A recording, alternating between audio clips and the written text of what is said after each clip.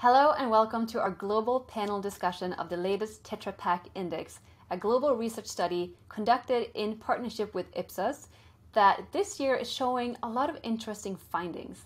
I'm Anne-Therese Gennari, also known as the climate optimist, and I base my work on shifting the narrative on climate change so that we can act from courage and excitement, not fear. And I must say that I read this report with wide eyes and a great deal of excitement because it shows that consumer habits have shifted quite significantly due to the pandemic, and if I might say so, in a very optimistic direction. For example, half of the global population now recognize the impact that everyday habits have on the environment. And from spending so much more time at home this past year, there's now a much greater insight into how much waste goes into those daily habits. 61% of consumers are doing more cooking at home than before the pandemic, and a majority are reporting that they will continue doing so in post pandemic times as well. The main reason, 73%, of this upsurge in home cooking is the ability to minimize food waste while cooking at home. Bottom line, consumers are becoming much more aware and they want to play a part in fueling the transition into a climate positive future. And they're looking to brands to lead the way. With over one third reporting that they are now choosing brands based on their sustainability credentials, more so now than before the pandemic. There's a real opportunity for food and beverage companies with 61% of food and beverage companies leading the way in finding solutions actually more so than governments on 60% and packaging companies on 57%. A lot of interesting insights, and today is a chance to discuss these findings with industry experts, all of whom are committed to driving the sustainability agenda, and three of whom are members of the Tetra Pak Sustainability Advisory Panel, and learn what actions can be taken from corporations as well as consumers to help pull a better and more sustainable world closer. So, with that, let me introduce you to a wonderful panel. Rachel Kyte is Dean at the Fletcher School at Tufts University, the nation's oldest graduate only school of international affairs. Rachel has long worked to promote and finance clean, affordable energy and low carbon growth as part of the UN Sustainability Development Goals. Trewin Restorick is the founder and CEO of Hubbub, a social enterprise that aims to solve environmental issues through innovative and inventive campaigns.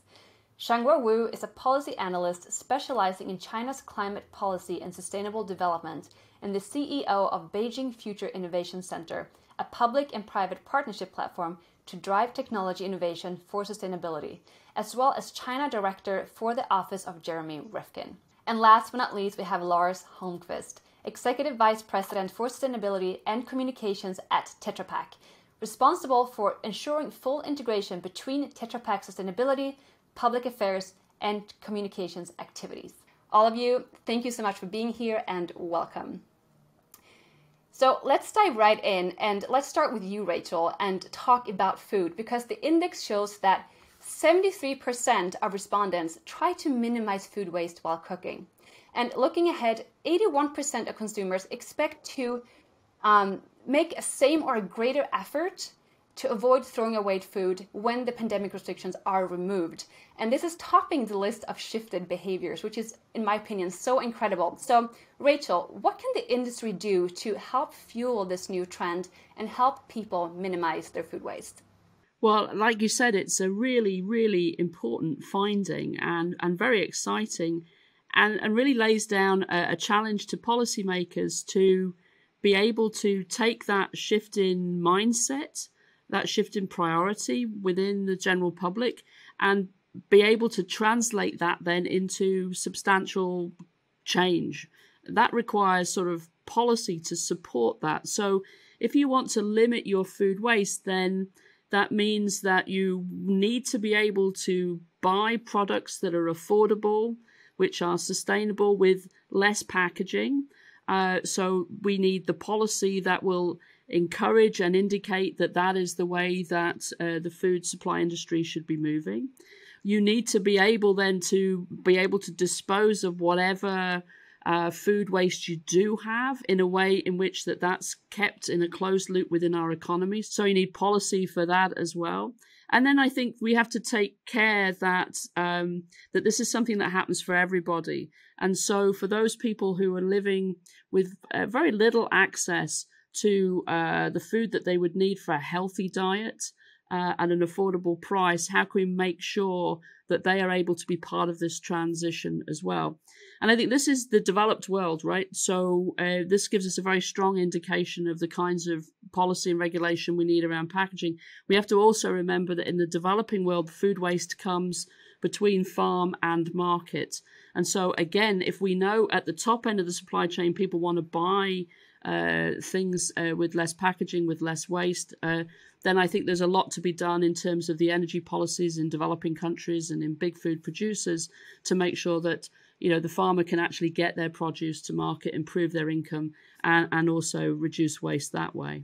So it sounds to me that it's a very integrated both issue and and um, and way of solving it. It's not just about limiting food waste, but in empowering communities and making sure that food is accessible across the spectrum and, and helping people um, take back the sovereignty of, of food uh, and integrate that into their daily lives as well. Yeah, I think if, if people's sens- sensitivity and sensibility about food, about um, the availability of food as a result of the extreme dislocation that many people experienced as a result of COVID 19, if that brings forward a greater awareness of the importance of sustainability within their food uh, choices, within their healthy diet choices, then we have to be able to take that moment and exploit it positively. And so, companies that are involved in the packaging and in the in the food value chain can all be part of that within a policy framework that is focused on affordability and sustainability. And we see that those two things are not in juxtaposition. You, you don't have to just have cheap, bad food. You can have cheap, healthy food, and you can have um, uh, we can reset the we can reset affordability in in our public imagination.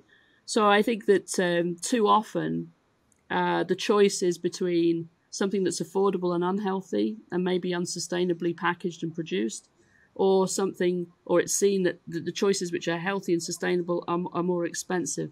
That's where we need policy to drive a, a change.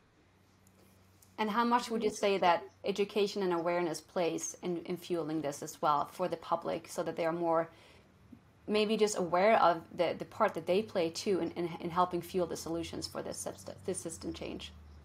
Yes, I think there's a huge opportunity for those people who buy food and then throw a third of it away because they overbuy or because they they they don't store it properly or they um, uh, uh, you know, portion sizes are too big in the restaurant and you take it home and you do, you never eat it. I mean, I think if people understand exactly how uh, much that contributes um, alongside their choice of transportation, their choice of energy systems at home, etc., I think that's important. But I don't think that we should uh, set up um, a, a, notion that that is uh, the only thing that needs to happen. People are in a food system, and the choices that they have and the price points at the at, at where, wherever they buy their food are determined by many many other factors. And it is that food system which has to provide a healthy diet, sustainably produced for everybody, low income, middle income, high income. And I think that's the awareness at the policy level, which has come forward because of the Food Systems Summit held at the United Nations just a few weeks ago, and and then put that together with this kind of survey data. I think you see that there is an opportunity for a pivot, and there is an opportunity, but this will require the food industry, the agricultural industry, the nutrition people, the food packaging, the every part of the food value chain to come together and for governments to understand that they can actually send signals through this food system to shift it. Putting all of the onus on the individual consumer is setting up a little bit of a, of a, of a false dichotomy. We need the system to change. I, just to build on what Rachel said, uh, for a packaging company like Tetra Pak, packaging uh, right sizing can really help to reduce food waste. It may sound very simple, by playing with packaging formats and sizes, consumers can actually select the package that best match their consumption needs, supporting them to continue reducing food waste, which is what they want. And in, in addition to that, there are also some benefits related to meal planning and to delivering safe, healthy food that is resource efficient to produce and to transport, which is what we are trying to do. Now, the second thing is, is clear and simple labeling. It sounds very simple, uh, but it is so very vital that consumers know when the expiry date is and understand what that means. That it means that there's a possibility to consume very often after the expiry date. And it is one of the main culprits in, in the say do gap for consumers. If a best before date has passed, then about one third of consumers wouldn't consider using this food product. Uh, that's from our index last year, uh, I recall. And you know, I can't easily check the best before date or expiry date is is the number one pain point when purchasing online. So, according to our recent e-commerce global consumer research, the um, which which actually complements this year's index. So, making the expiration date labels less confusing, helping consumers with recipes to use products before they expire is absolutely key for a industry like ours. Changhua, this year's Tetra Pak index shows significant difference in how consumers across the globe respond to different challenges, with 70% of respondents in China vowing to avoid excess packaging over the next year. Can you provide some insights into how China specifically compares to other markets when it comes to consumers making sustainable choices and their attitudes towards food safety? Thank you for uh, the question.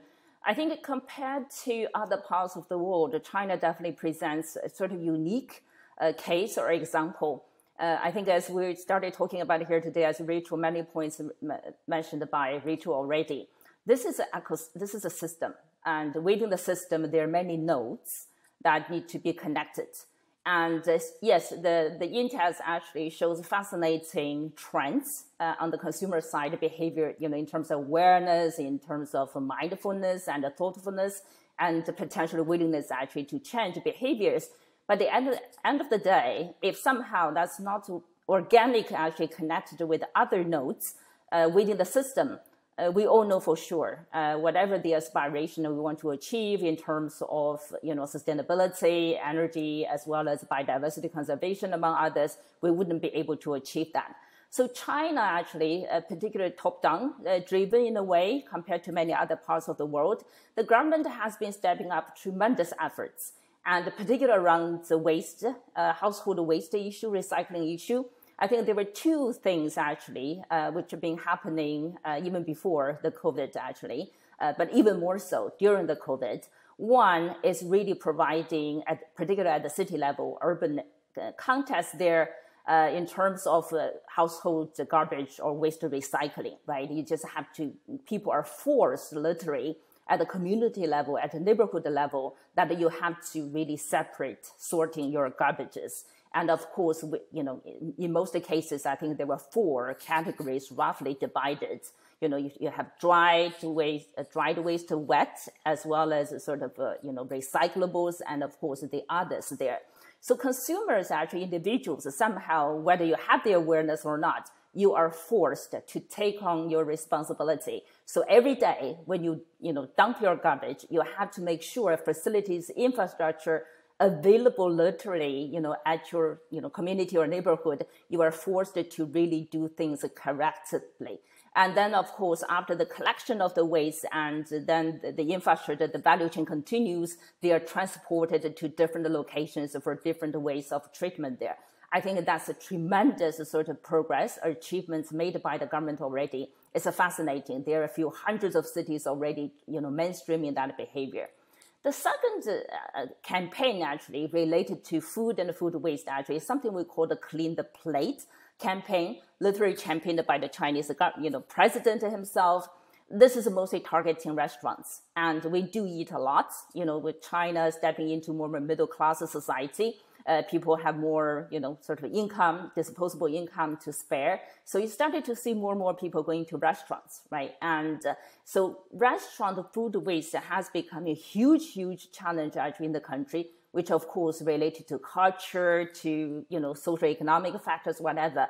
So now the campaign has been driving forward, literally say pin down another uh, node or player within the ecosystem, which is the restaurants, right? Beside behavior, the individuals actually. So restaurants are also put in a position that they need to help, be held accountable. So they need to watch out that the portion of food, whatever, in terms of, of course, the end purpose is to prevent or reduce the food loss, you know, loss or waste there as well. So in a nutshell, I think compared to many other parts of the world, if you look at the level of, you know, awareness, um, somehow I'm not surprised to see the Chinese consumer seems to be more aware of the challenges, partly because, of course, like many others, we live in the current challenges. In the meantime, actually, the government definitely has been playing a tremendous role in terms of enforcing actually uh, the connectivity of the nodes within the system so that we'll be able to really drive through actually uh, the target, the policy targets and the behavior change. I think that's probably very unique compared to many other parts of the world. Thank you. And the, the red thread that I'm seeing through the report and hearing you speak is there is this sense of agency that has been regained by the individual because we were so exposed to all this the whole system from being at home for such a long period of time and, and being in control of everything we're doing from cooking and creating waste and whatnot we start to really see how we play a part in the biggest system and so once you see that and you gain that awareness you become much more empowered in your everyday actions and i love that you speak on you know how can we take this a step further and really you know address the, the restaurants as well because that is a place where you as a consumer don't really have control over how much waste you are creating because you don't know what happens behind the, the, the wall to the kitchen so that that's incredible. Thank you so much, Changhua. And I also want to open this up to any to you, Lars, Trewin, or Rachel. If you have any insights into your specific markets that you want to share with the floor, um, please please feel free to do so also. Thank you. Shall I just give a perspective from the UK um, viewpoint? Um, so we've done polling in the UK, and everything in the index has, has rings true uh, with the UK. I think when people uh, are forced to cook their own food at home, which many of us were, you suddenly become really concerned about the provenance of that food. You become aware of um, the whole food system around you, uh, and you certainly become aware of the amount of food waste you're generating, the cost of that, and the packaging.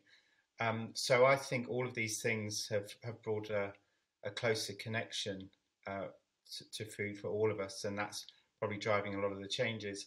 And I think COVID provided a real shock to people, didn't it? You know, there were there were scenes of like supermarket stores empty of, of food.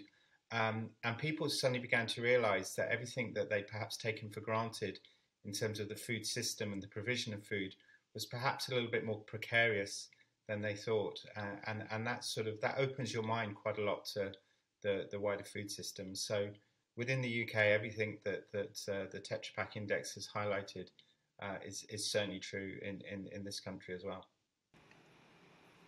Yeah, maybe I can give one anecdote. I, I was struck in, in California at the height of lockdown when the uh, restaurant and service industries were on the ropes, when uh, a lot of elderly people and people with disabilities who couldn't get out were stuck at home without access to food. People were without jobs and food supplies were dislocated, there was a pivot, and there was one program where uh, the food uh, restaurants were paid to prepare food that could be then delivered to uh, people who couldn't get out of their homes, the elderly, the infirm. And immediately um, you started to replace a food system that was extremely brittle, um, so value chains that were very brittle and had broken, um, with something that was more circular, more local, uh, employed people, kept restaurants open um, for the provision, uh, and and took care of the the elderly and the infirm and the, the, more vulnerable within our communities. And I think that that's just one example, but there were many others like that. Uh, and I think people want to hold on to that now. And so policy um, and local government, as well as national government, needs to um, ensure that that's sort of sustained. I, I would like to probably add uh, two more dimensions. Uh, one related to what China has been doing uh, in terms of the particular around the recycling and stuff like that. I think another driver, which is also have you know sort of gearing up very fast in China, uh, is this e-commerce and food delivery there as well. I mentioned the restaurant, but, but during the lockdown period, the people wouldn't be able actually to physically go to restaurant. So because now we have e-commerce, we have the digital enabling technology available. So you started to see basically we just literally order, you know, food from restaurant online. So they are delivered actually to your, you know, doorstep literally. Uh, on one side, exciting to see the business booming, but on the other side, actually, this uh, both food waste potentially, but also packaging waste there as well. So that's another sort of, you know, on the top of the agenda at the national government there as well. So that's another sort of exciting trend happening in China, not only addressing the packaging waste, but also plastic there as well. The, the other bigger uh, point I do want to make, uh, I think the, the findings of the index is fascinating to see, you know, the desire, the behavior change, awareness, whatever. But then actually it, it becomes a supply uh, challenge, meaning on one side, of course, it creates tremendous opportunities for business in particular. Say, okay, the demand is there. How do you make sure actually you really deliver or supply? you know, to meet this kind of demand. That's a fascinating trend to see. I think that's opportunity there as well. But then short term, actually, we started to see uh, the inadequacies. I think supply chain crisis, I think Trewin mentioned early on, you know, basically you go to, you know, grocery stores, so you start to see more and more empty uh, shelves. Uh, so there is a generally a bigger challenge around the supply. We call it supply crisis as I said, it's both a crisis that somehow short term we haven't been able to address well, but definitely it, it could be turned into a tremendous opportunity for business to lead this sort of uh, you know uh, sustainability agenda. Thank you. Thank you, Changhua. 50% of consumers say they are likely to increase recycling in the next year as part of their personal contribution to tackling climate change. Approximately the same number of respondents now believe that every choice I make in my daily life affects the environment. This kind of shift in consumer awareness is obviously so important in fueling new trends and creating new norms, but awareness falls flat unless we have the systems in place that can support that kind of shift. So, what needs to change when it comes to our recycling infrastructure so that improvements can be made? And also, what is the risk if things stay as they are right now? So it's fantastic to see, isn't it, that there's a greater des- desire to recycle. Uh, what needs to change? I, th- I think it's the four C's. So the first one is convenience. So it has to be incredibly convenient for the citizen to, to recycle, um, you know, preferably for, from, from their homes. The second is there needs to be clarity around the messaging. There's there's a huge amount of confusion about what can be recycled and what can't be recycled. Uh, in the UK, we see, we see something called wish recycling, which is people really wish stuff can be recycled and they put it in the recycling, which is actually not good news because it, it means that that, that, that, that waste stream can be contaminated and it's much harder to sort out. So there needs to be real clarity uh, about the messaging to consumers so they know what needs to go where. Um, the third C is confidence. So a consumer needs to feel completely confident that when they're doing the right thing themselves, that industry and the waste industry is doing the right thing. So, you know, if they think it's being recycled, is it really being recycled? Where is it being recycled? You know, what is the transparency of that system? Uh, and if that transparency breaks down or stories appear that it's actually been dumped uh, in a different country, then then you then you lose the the consumer because they feel their efforts have been wasted. And then the final thing, and I know this is really important to Tetra Pak, is we need to create the fourth C, which is to close the loop, to create circularity, so that when you recycle something, the best thing to do is to turn it as closely as you can back to that product, so that that you keep the loop together and and that product stays within the system. So, you know, if we recycle something and it get, gets downgraded each time, then eventually it will become waste. So, so you need a, a, a closed loop economy. So those are the four C's. That's that's that's what needs to change as far as I'm concerned.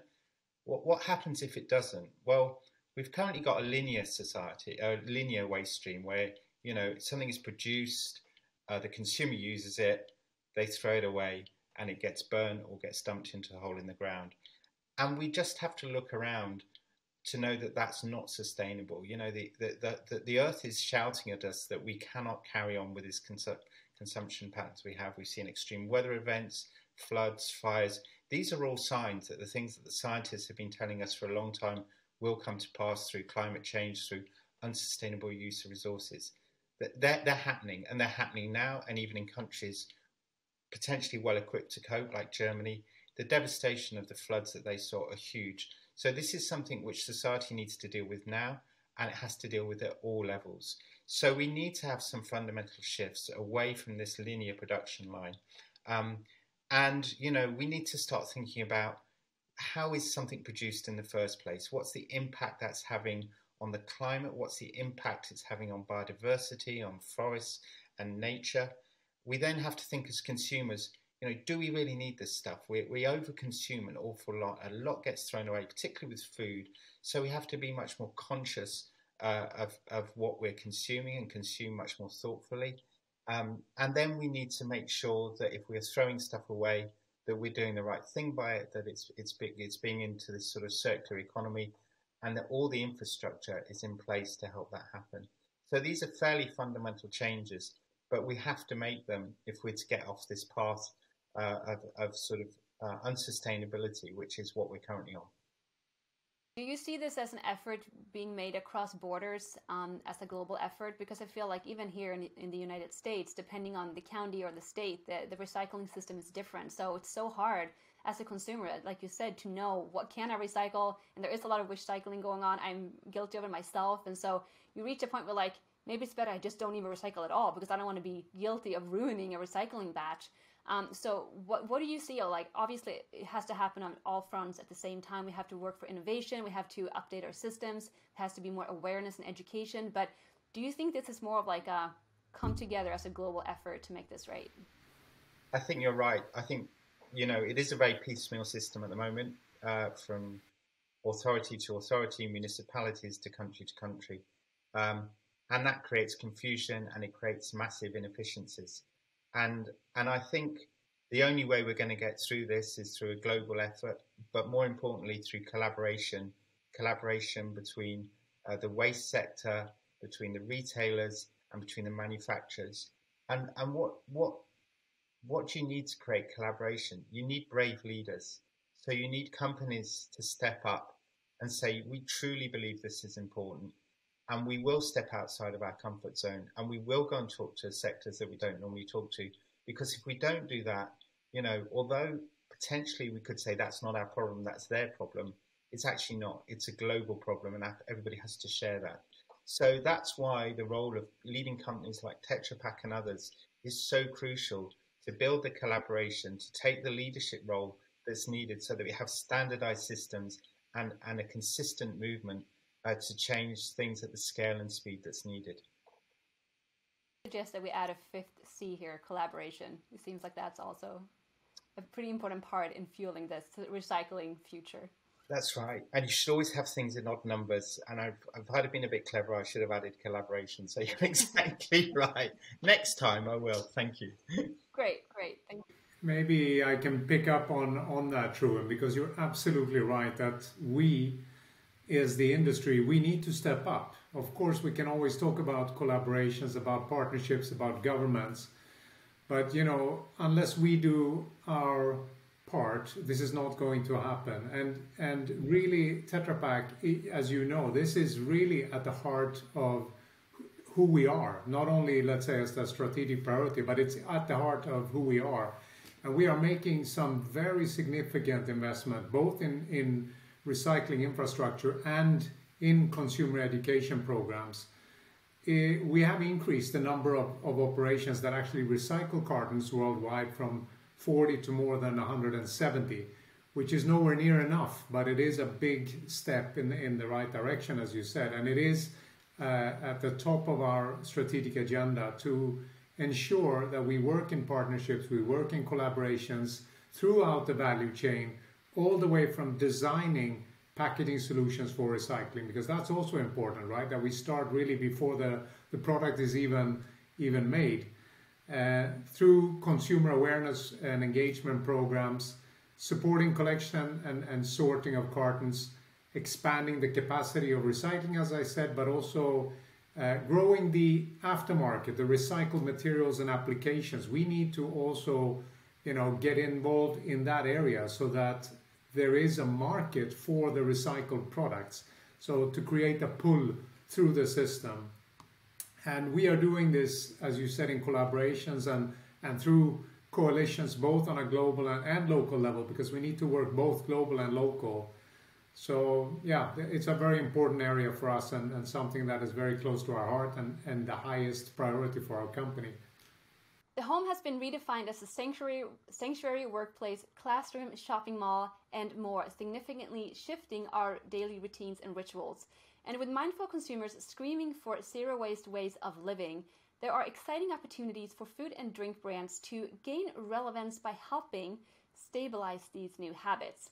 So, Lars, I have a question for you. What are your top three recommendations for helping brands find a space on this new post COVID 19 shopping list? Well, first of all, there is a huge opportunity for brands, um, especially if you think that 61% of the consumers that we saw in the index, they expect food and beverage companies to lead the way in finding solutions. And for me, it's a bit hard to narrow it down to, to three. Um, but let me think. I mean, the most pressing are the first one is that there's a huge increase in how we consumers protect our health. So 62% of consumers are paying more attention to what they're consuming. And there is a real desire for functional foods to boost immune system and, and gut health. We see that in many, many parts of the world, not only the developed world, but in developing parts of the world as well. And there's a real desire for, for you know, with a particular interest in the natural foods, I would say. So I'm really passionate about how is it possible to produce healthy, nutritional products without the needs of preservatives. So you can take an example um, like uh, hummus, for instance, which has a shelf life of up to a week, maybe when made at home or stored in the fridge. And and if you heat treat that, uh, heat treat that in a, in a short and controlled way, and with a predetermined temperature that you know, and also package it in in aseptic packaging, it can have a, a, very long shelf life uh, and and eliminate waste basically as well as we talked about before. So it does help to eliminate food waste. This feeds into the, the next point that I was thinking about, which is the importance of clear and simple labeling. I mean, it is not new, but it is something that is so important that there is clear, simple, understandable labeling related to expiry dates and, of course, also list of in ingredients for the purpose of food waste and also health benefits. And the third one I think is the provision of environmentally sound packaging. It will be vital. You see in the index there that, that because 84% of respondents actually say that the usage of environmentally sound packaging would make them more likely to consider the brand. 84% you know, say that, that environmentally sound packaging would make them more likely to consider the brand. That's a huge shift compared to just a, a couple of years ago. And, and of course, we need to play our part to, to protect the, the world's resources. So, so, what I'm hearing is that there is a sense of responsibility from the industry to make the shifts needed into a better world. But there's also a push and a demand from the consumer side to actually fund this this transition. So there's opportunity for business and growth, um, as well as an opportunity to shift into a more circular economy over this linear economy we're operating from right now. In my opinion, very climate optimistic news, and um, I'm thrilled and excited about all the findings uh, in this most recent report. Thank you so much for being here, and thank you for your contribution and to all the work you're doing to this world. So good to have you here.